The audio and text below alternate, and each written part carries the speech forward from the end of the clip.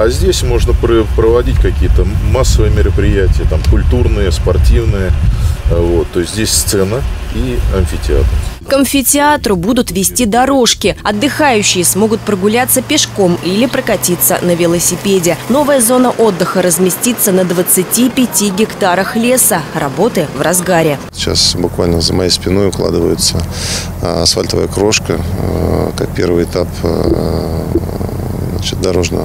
дорожно-тропиночной сети, а потом появится уже полноценный финишный слой, слой асфальта. В новом парке будет не только амфитеатр, но и многофункциональные площадки, зона барбекю и, конечно, парковки. Сейчас ищут возможности для их расширения. Дополнительные места планируют создать за счет дороги, чтобы зеленые насаждения не пострадали. Работы по благоустройству природно-ландшафтного парка «Велич» проводятся за счет внебюджетных средств. Было в свое время подписано соглашение, э, где э, порядка 15-18 э, миллионов инвестор должен был потратить благоустройство территории. На сегодняшний день объем значительно вырос, уже порядка 100 миллионов потрачено в дорожно-тропиночную сеть, различное благоустройство.